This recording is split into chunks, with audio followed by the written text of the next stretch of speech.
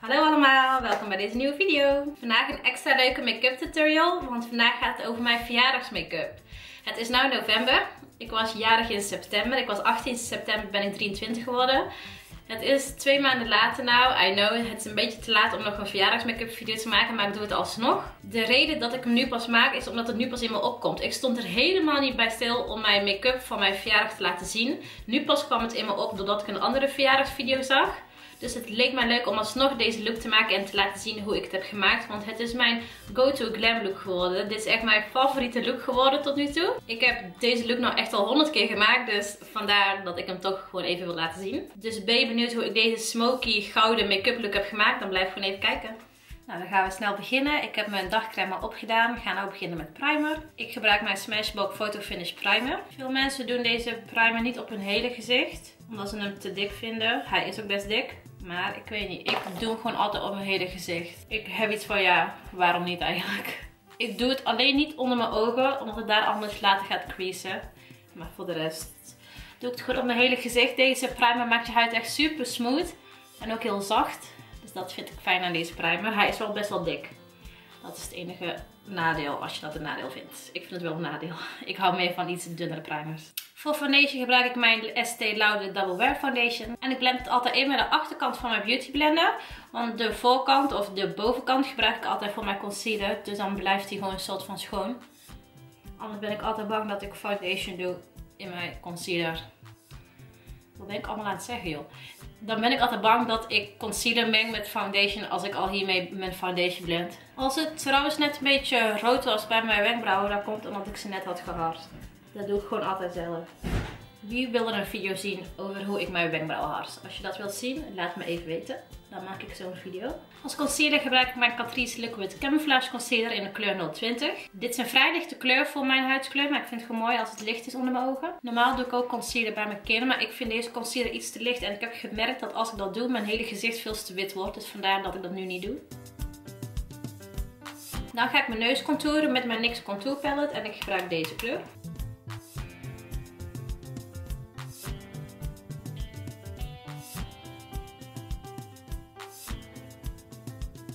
En dan ga ik er nog met mijn Beauty Blender een klein beetje overheen om de randen wat minder hard te maken. Want de beker gebruik ik mijn Beauty Bakery Translucent Powder. Dit zo op mijn neus doe ik, zodat mijn neus straks nog smaller lijkt. Terwijl die dat niet is. Ik doe wel een beetje poeder op mijn kin om het daar toch iets te verlichten. Terwijl ik aan het beken ben, doe ik altijd even mijn wenkbrauwen. Daarvoor gebruik ik mijn Benefit Brow Pencil in de kleur 6. Dit is de donkerste kleur, dit is de kleur zwart. Veel mensen met ook gewoon mijn haarkleur gebruiken vaak een wenkbrauwpotlood in de kleur donkerbruin. Vaak vinden mensen zwart te donker, ondanks dat ze gewoon mijn haarkleur hebben en vaak ook gewoon mijn huidskleur. Maar ik vind zwart altijd gewoon mooi. Ik vind het mooi als je wenkbrauwen toch wel een beetje opvallen, ondanks dat ik ze niet heel dik maak. Dus ik vind zwart eigenlijk best wel vaak gewoon kunnen, ook al vinden anderen vaak van niet. Nou, mijn wenkbrauwen zijn klaar. Ik vind altijd een super groot verschil met mijn getekende wenkbrauwen en mijn natuurlijke wenkbrauwen. Ik vind mijn natuurlijke wenkbrauwen echt vreselijk. Nu ga ik gewoon lichtjes mijn beek eraf halen. En dan ga ik eigenlijk ook altijd nog gewoon met mijn kwast over de rest van mijn gezicht om het ook een beetje af te poederen. Even een beetje tussentijdse fixing spray. Als oogprimer gebruik ik deze van de Kiko. Dit is van hun Fall collectie. Deze primer is echt super fijn, want hij laat oogschaduwen er echt goed op plakken, zeg maar. En dan blijven ze echt veel beter op je oog dan als je deze niet gebruikt. En het kost je geen vermogen. Nou gaan we verder met het leukste gedeelte, de ogen. Ik ben zwaar verliefd op dit paletje. Ik ben echt dit is echt mijn favoriete paletje op het moment. Dit is de Zueva Cacao Blend Palette. En deze heeft echt super mooie kleuren. Ik begin eerst met de lichtste kleur om mijn ogen af te poederen. Dan pak ik deze mooie bruine kleur. Ik doe deze kleur in mijn arcadeboog.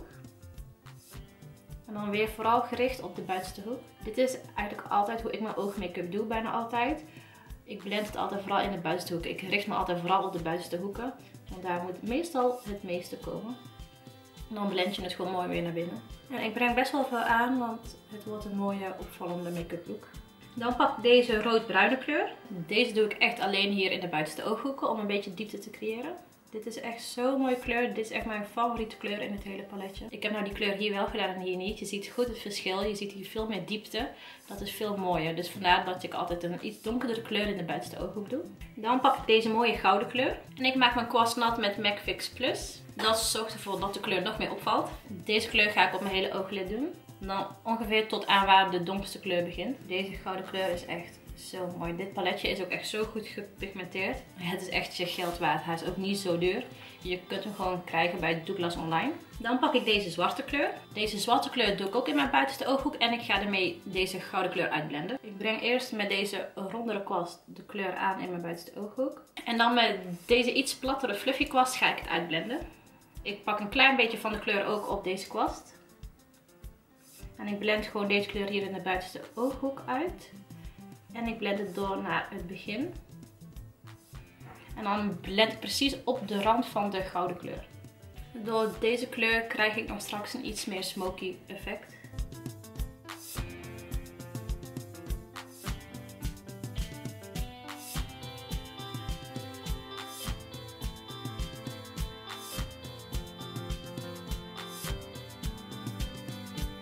Dan pak ik weer gewoon mijn blendingkwast en daarmee ga ik allemaal nog een beetje extra uitblenden. Echt, blending is key als je zoveel kleuren gebruikt. Dus het is echt heel belangrijk dat je goed blendt. Dan pak ik weer de rood-bruine kleur en die doe ik op mijn onderste wimperrand. Dit doe ik gewoon met een platte kwast.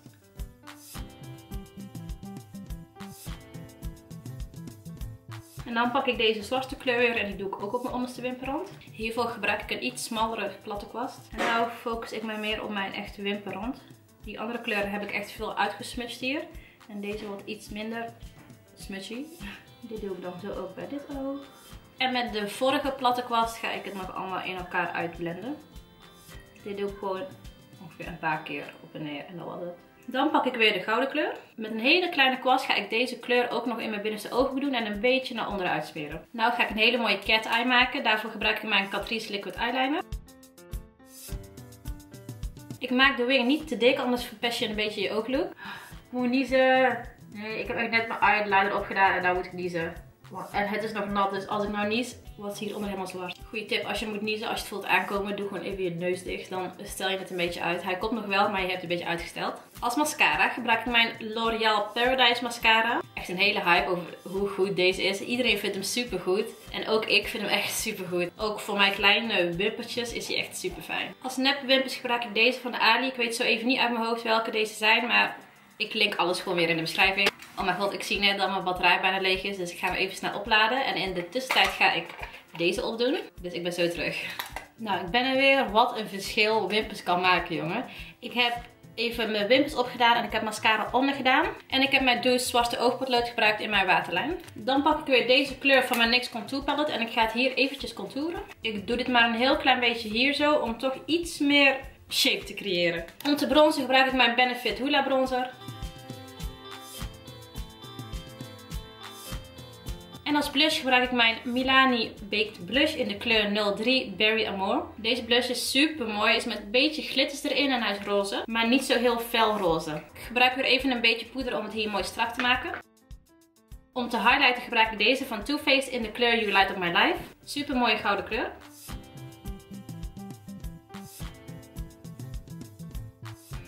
Ik doe het ook op mijn neus. En een beetje onder mijn wenkbrauw. Nou, we zijn bijna klaar. Alleen nog lippen. Als lippotlood gebruik ik de Everlasting Lip Liner van Kiko in de kleur 402. Als lipstick gebruik ik deze Manhattan lipstick in de kleur 200 Cream Nude. En dan ga ik er nog overheen met deze Kiko 3D Hydra Lip Gloss in de kleur 20. Omdat mijn ooglook al vrij heftig is, hou ik mijn lippen echt heel nude.